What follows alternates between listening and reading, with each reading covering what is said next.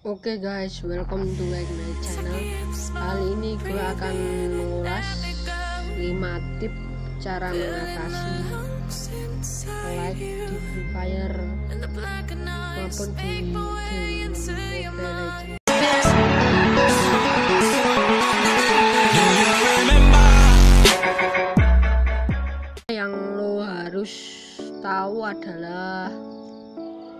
Ini guys. Lo tekan pengaturan guys dan lo lihat android lo tentang ponsel dan versi android.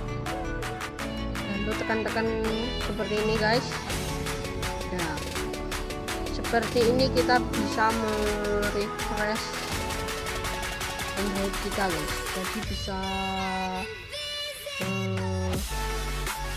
menyegarkan peneliti guys yang kedua adalah lo harus tahu aplikasi-aplikasi yang melatar belakangi melatar belakangi di Android lo contohnya saja seperti ini lo tekan pengaturan dan lo di aplikasi tekan aplikasi.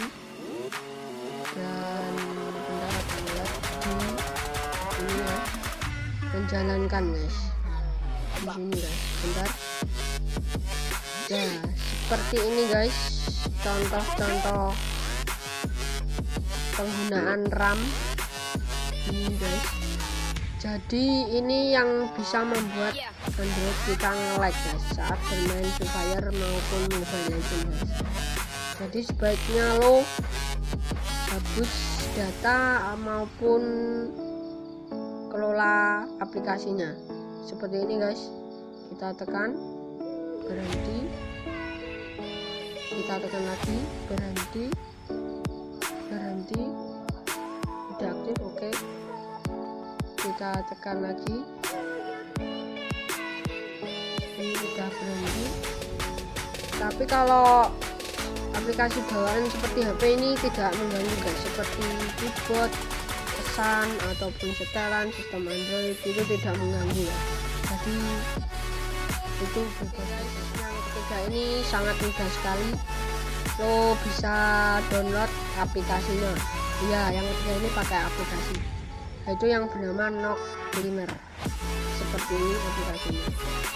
Kita bisa tekan mulai pemindahan guys jadi aplikasi ini membersihkan cache cache berkas-berkas sisa kita saat di Android bermain di Android. Tapi resikonya ini adalah menghapus file yang ada di game contohnya data di Free Fire yaitu seperti skin senjata yang semula kita sudah download setelah di Nox ini kita harus mendownload lagi. Tetapi kalau akun tetap terhubung guys. Jadi aman aja. Ini cukup membantu sekali bisa membebaskan RAM kita hampir 300 fiturnya juga ada banyak guys ada fitur pengunci aplikasi ada fitur pembersihan mendalam banyak sekali guys. Lo bisa lihat aja guys. Ini cukup lama sekali guys. Karena gak like karena banyak sekali